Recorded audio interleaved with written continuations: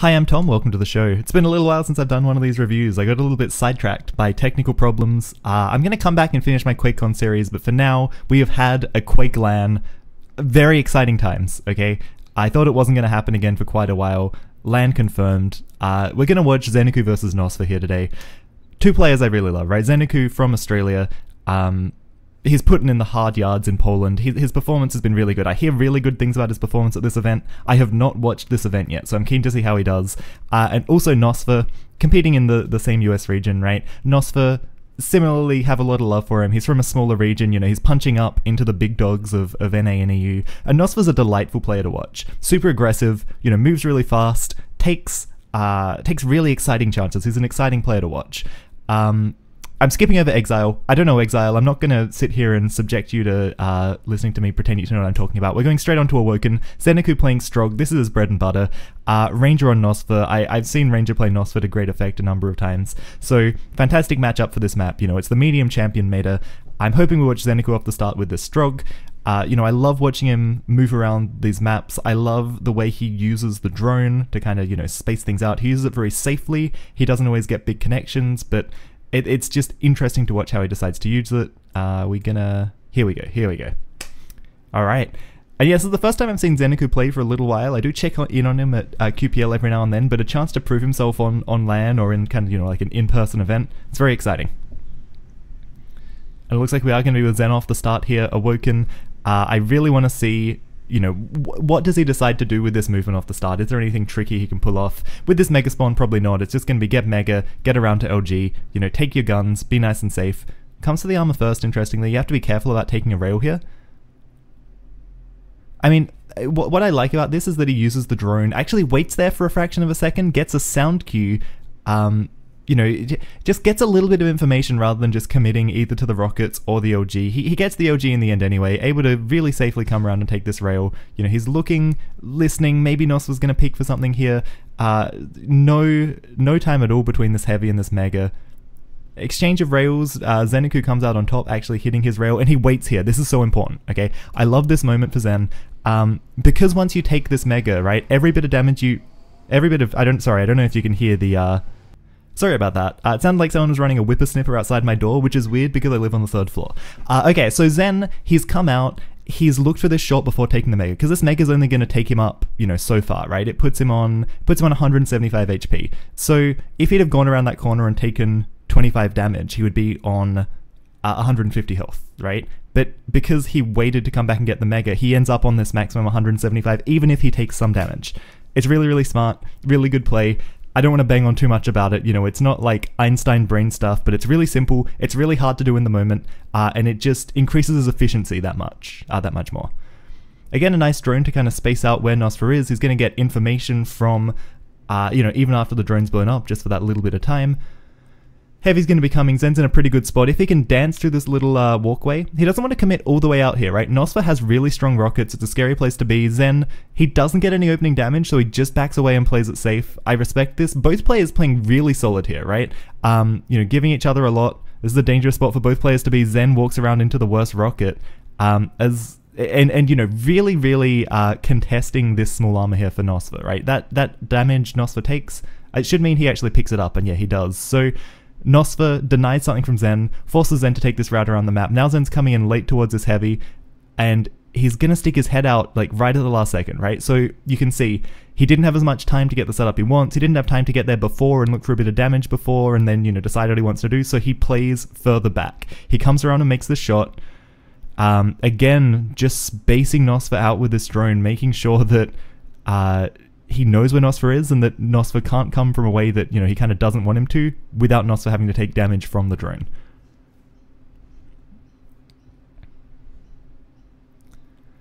Both items going to be up. Zen hitting some awesome shots here, knocking Nosfa down to nothing. I love this catch. Amazing play. Nosfa was so sure that he was going to hang around over at the red there. Tries to orb his way through. Uh, no such luck. So beautiful opening. Uh, you know, again, focusing on Zenaku here. I, I just love watching Zenaku play so much, and, and, look at that handsome face. You know, how how can you not love him? Um, but Nosfa playing really solid here as well, right? He's, uh, you know, he's staying out of sight. He's got himself the rail. That's going to uh, mean a lot for playing defensively, right? You know, Zen is only two rails from being back on equal footing or even at a bit of a disadvantage here. Nosfa positioned in a slightly awkward spot, right? Like he, it's good for dealing a bit of damage, but you can kind of get cornered here potentially. Yeah, Zen actually comes up the bounce pad. And Nosfa decides to leave. This is good.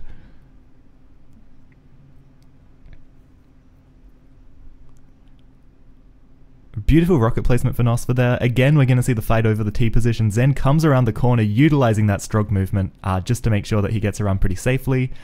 Messes up his little jump onto the, the knee-high wall. That's okay. You know, he maybe could have gotten an extra shot in there, but it's fine. He's still getting these items.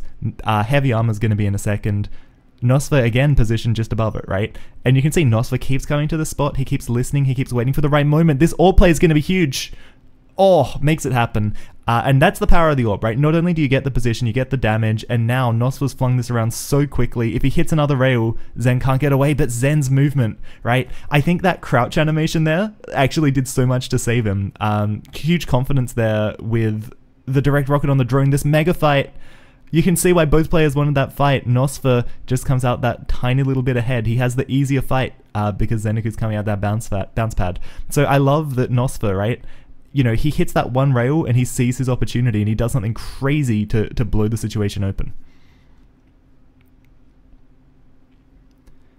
But again, Zen knows that Nosfa isn't strong, right? After that big fight at Mega, Zen knows that uh, he he can actually assert himself on the map. He gets that heavy. He gets in Nosfa positioned a you know a little bit too forward at that Mega, um, just not respecting how much Zenaku had, and Zenaku ties us up. So, you know, you've got to know how much damage you've done when you die. You've got to know when you take those huge trades, what you can get away with off of the spawn, so that you're not just off the map. And, and Zen does this to great effect here.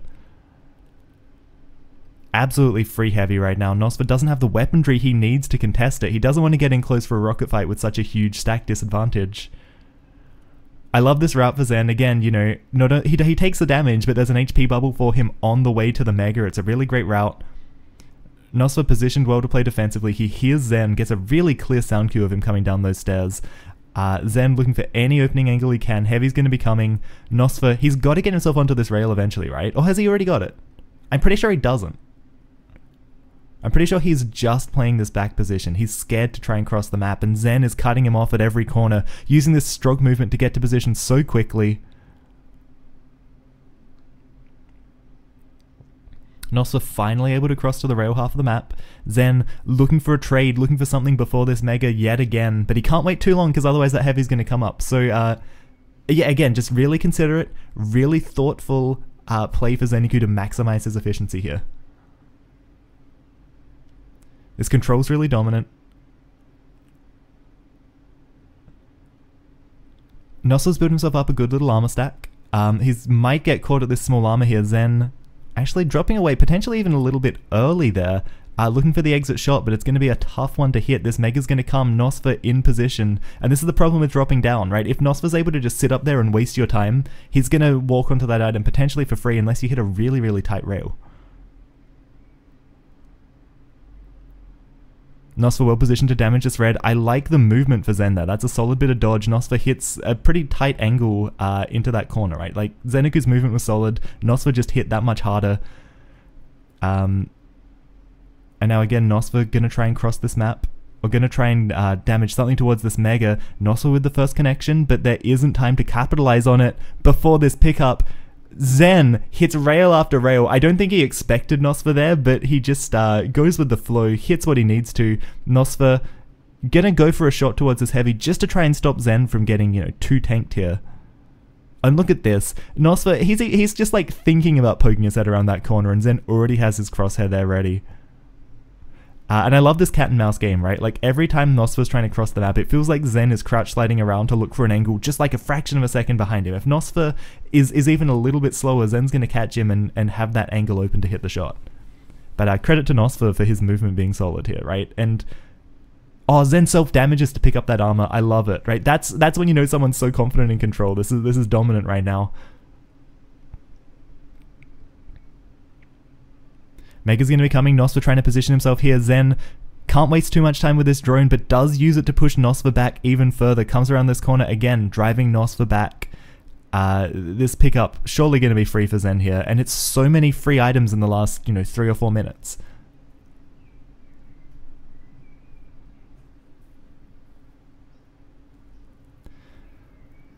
Nosfa's in a good spot here to make it harder for Zen to drop down. Uses that orb again, Zen has to doubt himself. Um, the damage is solid. Oh, beautiful exit rail there. If he doesn't hit that exit rail, it looks pretty dicey, I think. Now Zen actually playing on the back foot in an awkward position. He's going to get pressured. Excellent catch from Nosfa. Knew he was dropping down for that item. Uh, and, and took his chance, right? Right before that Mega as well, so Nosfa stacks back up. He's getting pretty fearless towards this heavy, I think. Uh, swaps to the rail.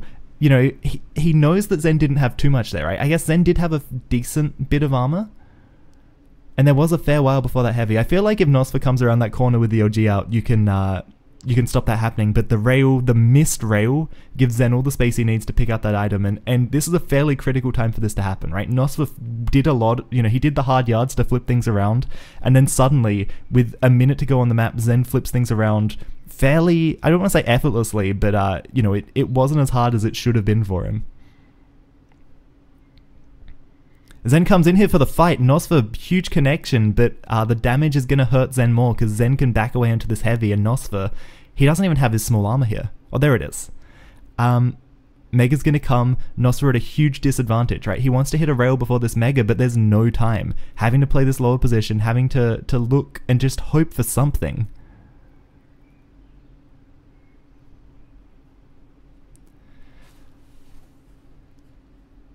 Again, Zenaku dominating the top of the map. We're watching Nosfa play, you know, his favorite little corner. no, I think his favorite little corner has to be the one uh, above heavy. The drone through the gap is is just so delightful to watch. Amazing control. Uh, Nosfa, I do like how effortless, uh, effortlessly he's swatting these drones out of the sky. You know, you, you can tell he's just calm, he's collected, he's confident. You can see on his face. You can see on his face. Zen again looking for something to happen before this mega uh, and making sure he leaves himself enough time to get over to heavy. It's smart, right? It's simple, it's smart. But if I tried to do it, uh, you know, I, I would have I would miss something in the in the calculation, and I would do it at the wrong time, and I would get punished for it. The sudden death's going to come up. Nosfa taking so much damage right at the start. That is not how you want to start a sudden death. Zen coming through, trying to push the issue here. Nosfa getting down to, to basically nothing. He's railable. Oh, the balls to drop down and hit that shot while you're railable in a sudden death.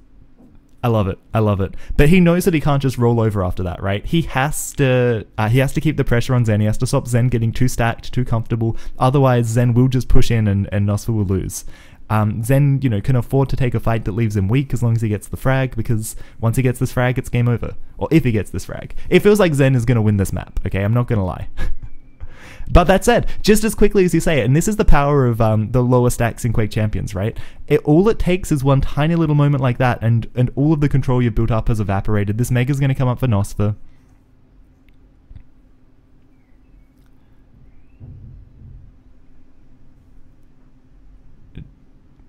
goes for the drop down rail, really tight angles here. Unfortunately, just like, you know, kind of graces Zenaku's ankle, it graces his Achilles, but not enough to actually register a shot. Nice drop down there for Nosfa. I like that he drops down, you know, as far forward as possible. Um, and a really nice use of the drone again. It just kind of slows Nosfa down, right? It gives Zen uh, more time to when he rushes across to this mega, or it gives him less time, I guess, for Nosfa to, to push in, right? It gives him more of an opportunity towards this mega. Uh, just do a small thing to waste your opponent's time at a, at a weird spot, and then rush to an item, right? It, I love it. I love it.